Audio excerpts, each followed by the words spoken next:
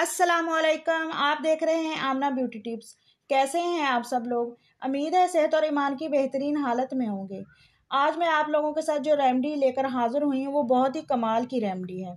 उसके इस्तेमाल से आप लोगों के चेहरे पर बहुत ही ज़्यादा ग्लो आने वाला है और वाइटनिंग आने वाली है। और लोग आप लोगों को पूछेंगे, पूछने पर मजबूर हो जाएँगे कि आपने क्या इस्तेमाल किया है। क्या आपने वाइटनिंग इंजेक्शन लगाए हैं? या कौन सा फेशियल करवाया है? या आप कौन से पार्लर में गई हैं, जो आपकी स्किन पर इतनी वाइटनिंग आ गई है, इतना ग्लो आ गया है? तो जब आप लोग ना अपनी तारीफ़ सुनोगे लोगों के मुँह से तो आपके चेहरे पर खुशी से और भी ग्लो आने वाला है। इस रेमडी में मैं जो चीज़ें यूज़ करने वाली हूँ, वो आपको स्क्रीन पर सही से नज़र आ रही होंगी। तो लेकर रेमडी स्टार्ट करने से पहले मेरी न्यू व्यूवर से सबसे रिक्वेस्ट है कि प्लीज़ मेरे चैनल को सब्सक्राइब कर दें और पास लगे बेल आइकॉन को भी प्रेस कर दें ताकि मैं जो भी वीडियो अपडेट करूँ वो सबसे पहले आप लोगों को बसानी पहुँच सके। तो इस रेमडी के लिए हमें चाहिए होगा सबसे पहले आलू, जैसे कि आप लोगों को नज़र आ रहा है। आलू को हमने धो लेना है अच्छी से और जितनी भी इसके ऊपर डस्ट वगैरह है उसको रिमूव कर लेना है। उसके साथ हमें चाहिए होगी सूजी। पहले सबसे पहले हम आलू को कैसे करना है उस, उसके बारे में बताती हूँ। आलू को हमने कद्दूकश कर लेना है, कद्दूकश की मदद से। इसकी मदद से हमने इसको कद्दूकश कर लेना है और इसका पानी निकाल लेना है। आलू आलू में बहुत ज़्यादा पोटाशियम और कैल्शियम पाया जाता है, जो हमारी स्किन के लिए बहुत ही अच्छा है, जो हमें वाइटनिंग देता है और ब्राइट स्किन देता है। तो इसको मैं कद्दूकश करके इसका पानी निकाल के फिर आप लोगों को दिखाती हूँ। मैंने आलू को कद्दूकश करके छानी की मदद से इसका पानी निकाल लिया है। जो आलू का पानी है वो हमारी स्किन को ब्राइट करने में मदद देता है। जितनी भी हमें अंग्रेज़ी क्रीमें लगाकर या ब्यूटी क्रीमें लगाकर हमारी स्किन ख़राब हो जाती है तो उसको सेट करने में ये हेल्प करता है। तो इसके अंदर जो हमने ऐड करनी है वो है सूजी। अब आप लोग सोच रहे होंगे कि सूजी सूजी तो सिर्फ़ हलवा बनाने के लिए इस्तेमाल होती है। ये सूजी हम फेस पर क्यों लगाएँगे? तो मेरे बात सुनो बहनों भाइयों, कि सूजी के अंदर बहुत ज़्यादा कोलोजन होता है। और कोलोजन जो होता है ना, वो हमारी स्किन के लिए बहुत ही ज़्यादा बेनिफिट होता है। क्योंकि हमारी स्किन जब हम एज के साथ साथ हमारा बड़े हो जाते हैं, हमारी स्किन में कोलोजन की मकदार कम हो जाती है, जिसकी वजह से हमारा जो चेहरा है, वो लटकने लग जाता है, जुड़ियाँ पड़ने लग जाती हैं आई रिंकल आ जाती हैं फाइन लाइन आ जाती हैं। तो इस तरह की सारी प्रॉब्लम कोलिजन की कमी की वजह से होती हैं। तो जो सूजी है, उसके अंदर वाफर मकदार में कोलिजन पाई जाती है। और जो अमीर अमीर लोग हैं, वो इसके इंजेक्शन लगवाते हैं कोलिजन के इंजेक्शन लगवाते हैं सर्जरी वगैरह करवाते हैं तो हम लोग वो नहीं करवा सकते तो हम सूजी के ज़रिए ही कोलिजन को अपने स्किन के अंदर वो अब्जॉर्ब करेंगे।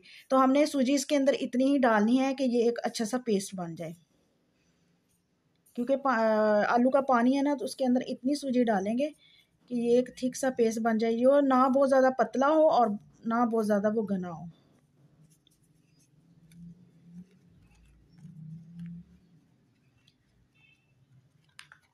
इसको अच्छे से मिक्स कर लेना है। क्योंकि जब ये अच्छे से मिक्स होगी तो सूजी इसके अंदर थोड़ी सी फूल भी जाएगी।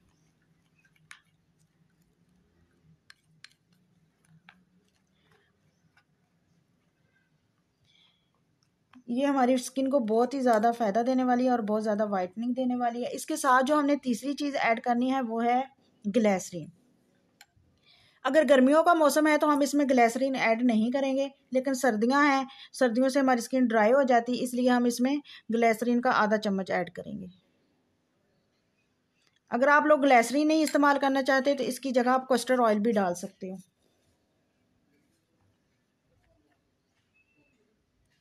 ये एक इस तरह का पेस्ट बन गया। मैं सही से मिक्स करके दोबारा से आप लोगों को दिखाती हूँ। अब ये अच्छे से मिक्स हो गई है और इस हालत में आ गई है। इसको छः से सात मिनट लगे हैं मुझे मिक्स करने में। क्योंकि इसको अच्छे से मिक्स करना है, नहीं तो इसकी सूजी अलग होगी और पानी अलग होगा तो वो हमारे स्किन के हो, इतना फ़ायदा नहीं देगा। बिल्कुल एक स्मूथ सा पेस्ट आप लोगों ने बना लेना है।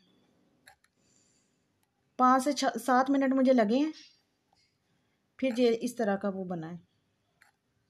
नहीं तो आपको लोगों को पता है कि सूजी के जो होते हैं जंग्स होते हैं, वो ज़रा मोटे होते हैं तो इजी से इतना वो नहीं, आराम से उसके अंदर, आलू का जो पानी था वो इतना आराम से जज्ब नहीं हो रहा था। सही से मैंने इनको ब्लेंड किया है अच्छे तरीके से इस इस तरह से तो फिर जाके जी इस तरह का बना। अब इसको अपने चेहरे पर लगाना कैसे, वो मैं बताती हूँ। आप लोगों ने अपने फेस को अच्छे से वॉश कर लेना है। वॉश करने के बाद आप लोगों ने इसको लगाना है। और एक पतली लेयर नहीं लगानी, इसकी सही मोटी और थिक लेयर लगानी है। इस तरह।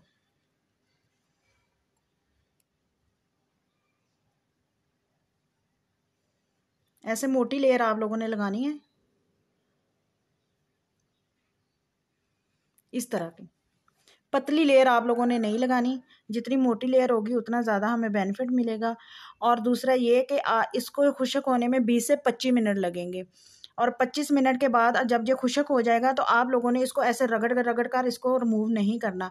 इसको पहले इसके ऊपर पानी छिड़कना है शावर के बोतल लेके उस, उसके अंदर पानी डाल के तो उसके इसके ऊपर वो छिड़कना है। जब ये थोड़ा सॉफ्ट हो जाए तो इसको नरम हाथों से ऐसे मल मल के उतार लेना है।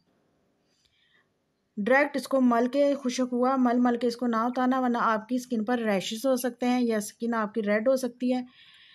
तो इसके बहुत ही अच्छे आप लोगों को रिज़ल्ट मिलेंगे इनशाला मैंने भी अपने फेस के लिए बनाई है, जो बच गई, वो मैं अपने फेस पर ही लगाऊँगी।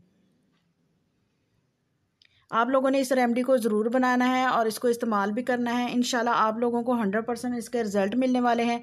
और जब ये रिज़ल्ट मिल जाए आप लोगों को, उसके बाद आप लोगों ने कमेंट्स बॉक्स में आकर मुझे ज़रूर बताना है कि कैसी लगी आप लोगों को ये रेमडी मैं एक और नई वीडियो के साथ हाज़िर होती हूँ। तब तक आप लोग अपना ख्याल रखना। बाय बाय अल्लाह हाफिज़।